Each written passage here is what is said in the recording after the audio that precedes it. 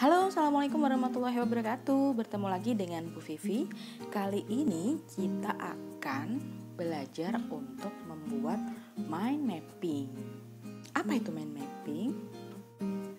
Nah, di antara kalian pasti ada yang pernah merasakan seperti yang ada di sini.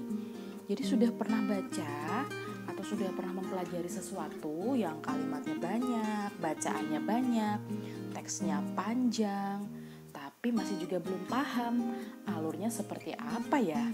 Atau mungkin ini maksudnya bagaimana? Saya nggak tahu poinnya karena membaca terlalu lama tapi tidak paham dengan alur isi bacaannya. Atau mungkin bisa jadi ketika kalian lagi melihat sebuah berita, melihat informasi atau mendengarkan penjelasan Bapak Ibu guru, kalian juga masih pusing meskipun sudah bikin catatan di buku masih tidak tahu ini tadi bahas apa ya. Kali ini Bu Vivi akan membantu kalian agar tidak kesulitan membuat catatan ketika mempelajari sesuatu dengan memanfaatkan metode mind mapping. Jadi mind mapping adalah sebuah teknik untuk membuat catatan dengan memetakan ide-ide supaya berada di susunan yang kalian bisa paham. Nah, metode ini diperkenalkan oleh seorang psikolog, penulis, dan juga konsultan pendidikan bernama Tony Buzan. Mungkin kalian sudah ada yang pernah eh, melakukannya ya atau mempraktikannya di beberapa mata pelajaran, terutama yang kelas 7 ya. Nah, kalau kalian belum pernah, maka di sini adalah pas untuk belajar bersama.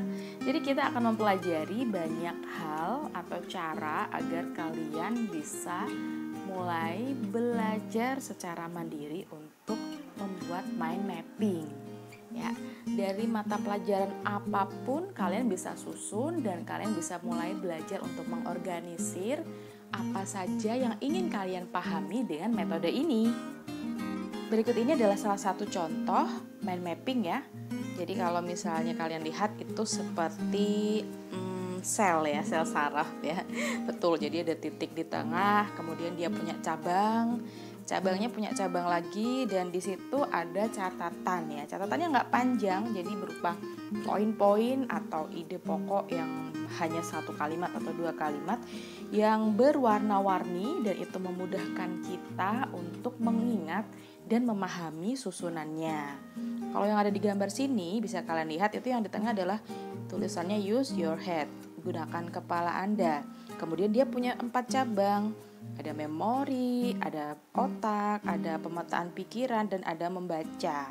Kalau kita lihat di situ untuk untuk dahan yang tulisannya memori itu terdiri dari ranting, ada questions, ada during learning, ada learning after jadi memori itu masih punya cabang lagi. Nah sama dengan dahan yang tulisannya brain. Brain itu masih punya ranting ranting-ranting lagi. Jadi ini yang disebut dengan mind mapping ya.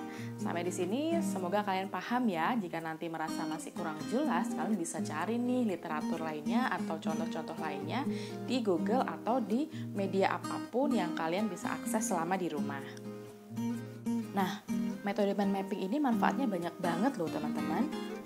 Yang pertama selain membantu proses pembelajaran, ya, metode mind mapping ini membuat kita lebih produktif. Jadi kalian yang tadinya hanya cuma membaca saja, kalian bisa juga mengaktifkan tangan kalian, pikiran kalian, ide kalian untuk membuat rancangan atau susunan pemetaan pikiran dari apa yang sudah kalian baca. Ya, selain itu, dengan menggambar, memberi warna, menambahkan tulisan, memberikan desain, itu juga menambah kreativitas kalian loh. Ya. Dan yang terakhir adalah meningkatkan pemahaman. Ini yang paling penting karena tujuan dari pembuatan mind mapping sendiri adalah membuat kita paham dengan apa yang akan kita pelajari ya. Jadi pastikan ketika sudah membuat mind mapping itu kalian baca lagi, oh saya paham. Dan sekali dua kali baca biasanya ketika kita mulai mengerjakan sesuatu atau mungkin ada pertanyaan dari Bapak Ibu guru, kita langsung ingat, oh waktu itu saya menggambar dengan warna orange, tulisannya ini, maka itu berhubungan dengan kalimat apa. mudah sekali untuk mengingatnya karena kita hanya menggambar simbol dan catatan yang sederhana dan itu mudah sekali untuk diingat teman-teman.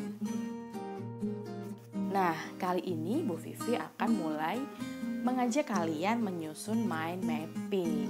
Apa saja langkah-langkahnya? Yuk kita simak. Yang pertama adalah silahkan kalian siapkan media yang ingin digunakan. Media ini bisa berupa kertas ya, kertas uh, ya lembaran kertas atau karton.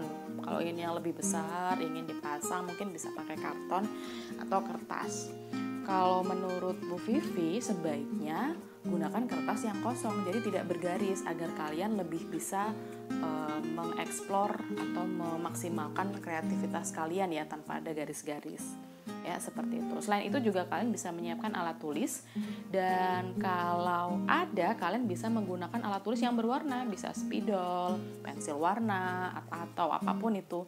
Jadi kalian punya banyak eh, simbol-simbol warna untuk menulis atau membuat mind mapping kalian. Langkah yang kedua adalah kalian mulailah menggambar ide pokok di tengah-tengah kertas yang sudah kalian siapkan. Jadi ide pokok ini adalah inti. Misalnya materi apa yang ingin kalian pelajari hari ini, kalian tulis nih di tengah-tengah. Contoh, kalian tulis makanan ya. Tulis aja tuh makanan yang paling tengah di atas ya.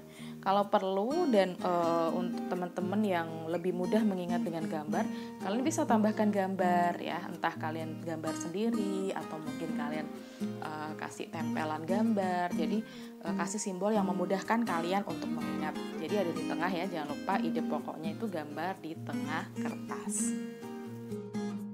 Nah, yang berikutnya adalah kalian setelah membuat ide pokok, tambahkan dahan dari ide pokok tersebut untuk pendukung dari uh, ide pokok tadi. Jadi kita bikin tema utama dari dahan-dahan. Nah, kalau bisa dahan-dahan ini diberi warna yang berbeda-beda ya supaya kalian bisa membedakan. Contoh tadi ide pokoknya adalah makanan, maka dahannya ini bisa dibikin sayuran, daging atau mungkin dibikin uh, protein hewani, protein nabati, terserah sesuai dengan kebutuhan belajar kalian ya nanti kalau sudah bikin dahan bikin warnanya yang berbeda-beda atau mungkin mau juga nambahkan gambar biar ingat boleh itu lebih bagus. Setelah menambahkan dahan dari dahan tersebut kan sudah dibikin sub sub tema ya kalian sekarang e, bisa menggambarkan yang namanya ranting. Ya ranting ini adalah uh, poin-poin yang mendukung dari uh, subtopik tadi. Misalnya tadi cabangnya tadi adalah uh, dari ide pokoknya makanan, kemudian dahannya adalah sayuran.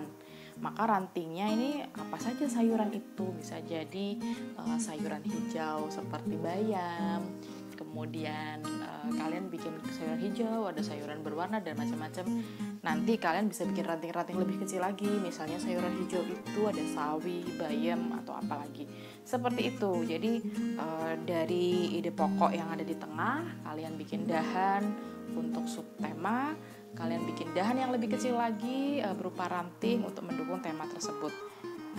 Kalian uh, kalau membuat ranting seperti ini saran dari Bu Vivi bikin warnanya sama dengan dahannya yang tadi ya yang besar. Kalian bikin yang cabang ini warnanya sama biar bisa membedakan. Oh, ini adalah bagian dari uh, subtema yang ini. Seperti itu. Oke, mudah bukan? Nah, Kalian uh, jika ada yang ditanyakan boleh kok uh, tulis komentar di bawah sini atau mungkin bisa japri langsung ke Bu Vivi. Oke, okay, akhirnya kita sudah mulai di sesi terakhir yakni sesi untuk praktik membuat mind map kalian sendiri. Nah, kalian bisa mulai untuk menyiapkan kertas dan kemudian membuat ide pokok sesuai dengan keinginan kalian masing-masing dengan tema bebas ya bisa berupa mata pelajaran yang mungkin bermanfaat buat kalian atau mungkin tentang coronavirus eh, penyebabnya apa kemudian penanganannya menurut kalian seperti apa macam-macam ya bisa kalian eksplor sebanyak mungkin gunakan imajinasi kalian dibikin warna nanti yang paling menarik akan Bu Vivi post di akun e-learning kita Oke, okay? jangan ragu untuk memulai. Jika ada yang ditanyakan bisa langsung kontak dan tetap semangat. Sampai ketemu di pertemuan berikutnya. Jangan lupa sholat lima waktu ya. Bantu orang tua kalian di rumah. Jaga kesehatan, jaga jarak dan pakai masker jika uh, bertemu dengan orang lain.